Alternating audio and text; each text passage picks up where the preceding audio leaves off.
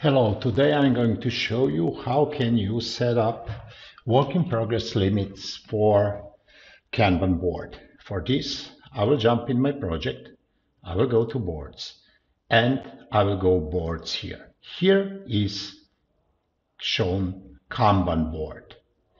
In Sprint, you cannot do this. So in Sprint, you cannot set up work in progress limits only in Kanban board and Kanban board is here. This is the board. Okay.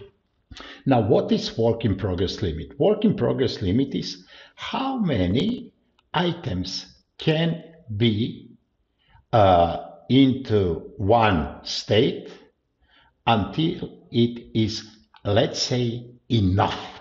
So let's say that we want to have no limit for any other uh, state than active and for active limit that we allow, uh, that we allow only three, uh, three items. So let me show you an example.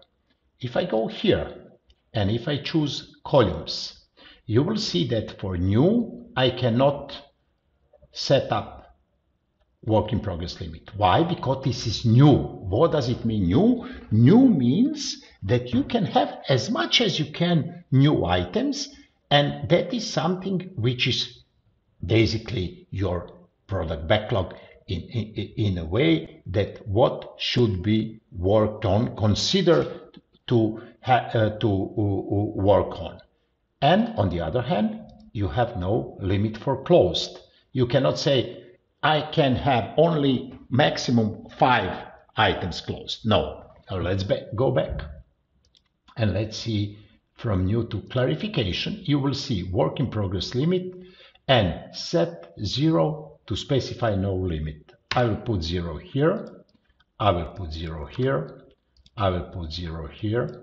This is just an example. And I will say I can have only my maximum, not, not only, maximum three items in active states, state, and in wait for feedback, resolved, ready for test, okay, and then for closed I cannot set up, it is zero. So active work in progress limit three. Save and close, you will see when I now refresh this one, this screen, Clarification means zero. Scoping, this zero means there is no limit.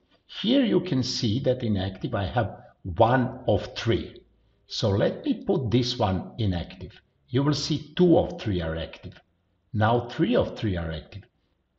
Figure out that this one is green number, number in green. Now let's say that this is in scoping and this is ready. And after ready, it is active you will see the red. So it means that when you put work in progress limit, it only it is not to uh, uh, pre prevent you to put, for example, like in my case, item in active state, in my case, or in any other state for which you set up limit, only to warn you.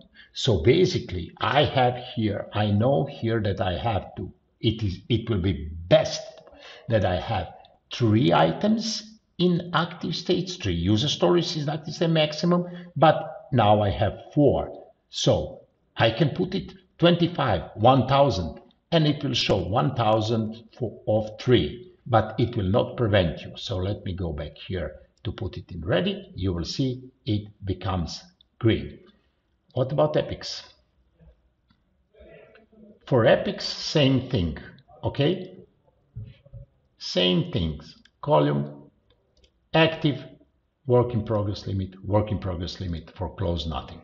For features as well, okay? You will see 0505 and for closed nothing. But usually I put work in progress for user story is uh, uh, work in progress limit for user stories because it for my, from my experience for you uh, for uh, epics and features it doesn't make a sense. Hope this helps. Thank you very much